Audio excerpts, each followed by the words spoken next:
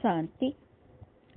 மாதேஸ்வரி ஜெகதம்பா அவர்களின் இனிய மகா வாக்கியம். தலைப்பு பரமாத்மாவின் சக்தி கொடுப்பதற்கான நிலை மற்றும் வழியை பரமாத்மாவே அறிவார். மம்மா கூறுகிறார் உங்களது நிலை மற்றும் வழியை நீங்கள்தான் அறிவீர்கள். இப்போது இந்த மகிமையை யாருடைய நினைவு சின்னத்தின் முன்பு பாடுகின்றனர்?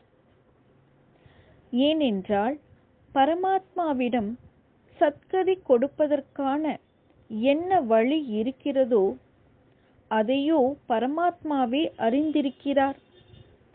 மனிதர்கள் தெரிந்து கொள்ள முடியாது. நமக்கு எப்போதும் சுகம் வேண்டும் என்ற இந்த ஆசை மட்டும் மனிதர்களுக்கு இருக்கிறது. ஆனால் அந்த சுகம் எப்படி கிடைக்கும்? எதுவரை மனிதர்கள் தங்களது ஐந்து விகாரங்களை சாம்பலாக்கி செயலை நற்செயலாக ஆக்கவில்லையோ அதுவரை அந்த சுகம் கிடைக்க முடியாது. ஏனெனில் கர்மம் அகர்மம் விகர்மத்தின் நிலை மிகவும் ஆழமானது. அதனை பரமாத்மாவை தவிர வேறு எந்த மனித ஆத்மாவும் அந்த நிலையை தெரிந்து கொள்ள இயலாது.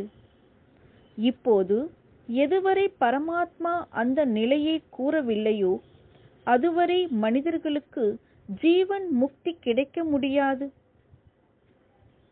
எனவே மனிதர்கள் கூறுகின்றனர் உங்களது நிலை மற்றும் வழியை நீங்கள் தான் தெரிந்திருக்கிறீர்கள். இவர்களுக்கு சத்கதி கொடுப்பதற்கான வழி அந்த பரமாத்மாவிடம் உள்ளது.